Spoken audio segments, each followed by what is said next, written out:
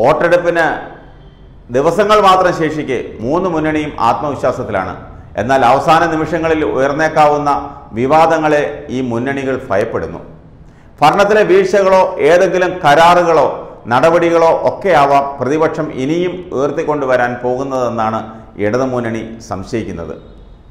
എന്നാൽ ഈ കുരുക്കുകളിൽ പെടാതെ നൂറിലേറെ സീറ്റുമായി ഭരണ തുടർച്ചയാണ് ഇടതുമുന്നണി പ്രതീക്ഷിക്കുന്നത്. പ്രചാരണ രംഗത്ത് തുടക്കം മുതലുള്ള മേധാവിത്വം ഇപ്പോഴും നിലനിൽക്കുന്നതായി അവർ കണക്കുകൂട്ടുന്നു. പ്രതിപക്ഷം എന്തൊക്കെ പറഞ്ഞാലും സർക്കാർ ചെയ്ത നല്ല കാര്യങ്ങൾ വോട്ടർമാരുടെ മനസ്സിലുണ്ടെന്ന ഉറച്ച വിശ്വാസമാണ് അവരുടെ കണക്കുകളുടെ അടിസ്ഥാനം. എന്നാൽ മെച്ചപ്പെട്ട സീറ്റുകളോടെ അധികാരത്തിൽ തിരിച്ചെത്തുമെന്നാണ് യു പ്രതീക്ഷ. തുടക്കത്തിലുള്ള ആലസ്യങ്ങളൊക്കെ മാറി. മുന്നണി മികച്ച നിലയിൽ വിജയം നേടുമെന്നും പിണറായി സർക്കാരിന്റെ അഴിമതിക്കും സ്വജനപക്ഷപാതത്തിനും എതിരായി വോട്ടർമാർ വിധിയെഴുതുമെന്നും അവർ കണക്കുകൂട്ടുന്നു. കേന്ദ്ര അന്വേഷണ ഏജൻസികളിൽ നിന്ന് അവസാന നിമിഷങ്ങളിൽ ചില നടപടികൾ ഉണ്ടായേക്കുമോ എന്നൊരു പ്രതീക്ഷയും ആഗ്രഹവും യു ഡി എഫ് കേന്ദ്രങ്ങളിലുണ്ട്. എന്നാൽ പ്രചാരണത്തിന്റെ അവസാന ഘട്ടത്തിൽ പ്രിയങ്ക ഗാന്ധിയുടെ പരിപാടി റദ്ദായത് കോൺഗ്രസ് ക്യാമ്പുകളിൽ നിരാശ പടർത്തിയിട്ടുണ്ട്. എന്നാൽ പ്രിയങ്ക എത്തേണ്ട നേമത്ത് പകരമായി രാഹുൽ എത്തുന്നത് അവർക്ക് വലിയ പ്രതീക്ഷ നൽകുന്നു. വലിയ പ്രതീക്ഷയോടെയാണ് ബി ജെ പിയുടെയും നിൽപ്പ്. പാലക്കാടും കോന്നിയിലും കഴക്കൂട്ടത്തും പ്രധാനമന്ത്രി നരേന്ദ്രമോദി എത്തിയത് ബി ജെ പി ക്യാമ്പിന് പുത്തൻ ഊർജം നൽകിയിട്ടുണ്ട്.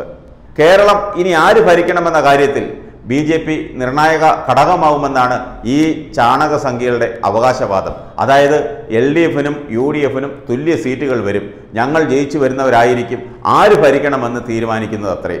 അത് പറയാനൊന്നുമില്ല. ബി ജെ പി ജയിക്കുന്നത് യു ഡി എഫ് വോട്ട് കൊണ്ടാണ്. അവർക്ക് ഭരിക്കാൻ ബി ജെ പിയുടെ സഹായം വേണ്ടി വരൂ. എൽ ഡി എഫ് ഒരിക്കലും ബി ജെ പിയുടെ ഔദാര്യത്തിനോ സഹായത്തിനോ തിണ്ണ തിണ്ണനിറങ്ങാനോ നിൽക്കില്ല. നൂറിലേറെ സീറ്റുകളോടെ ഇടതുമുന്നണി വീണ്ടും അധികാരത്തിലെത്തും. ആശങ്കപ്പെടാൻ ഒന്നുമില്ല. എല്ലാം നേരത്തെ കണക്കുകൂട്ടിയതുപോലെ തന്നെ മുന്നോട്ട് പോകുമെന്നാണ് ഇടതുമുന്നണി നേതാക്കളുടെ അഭിപ്രായം. എന്നാൽ ഞങ്ങൾക്കൊരു ആശങ്കയുമില്ല. ഓരോ ദിവസവും ആത്മവിശ്വാസം കൂടി വരികയാണെന്നാണ് യു ഡി എഫ് വിലയിരുത്തുന്നത്. അതേസമയം സംസ്ഥാനത്ത് ഇനിയും ആരെങ്കിലും ജയിച്ച് ബി ജെ പിക്ക് അക്കൗണ്ട് തുറക്കുകയാണെങ്കിൽ അത് കോൺഗ്രസിന്റെ സഹായത്തോടെ മാത്രമായിരിക്കും. ബി ജെ പിയുടെ ഇപ്പോഴുള്ള അക്കൗണ്ട് എൽ ഡി എഫ് പൂട്ടിക്കുമെന്നുള്ളത് ഉറപ്പാണ്.